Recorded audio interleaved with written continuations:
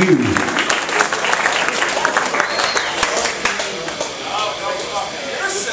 That was a new song. We're gonna record that one day for y'all.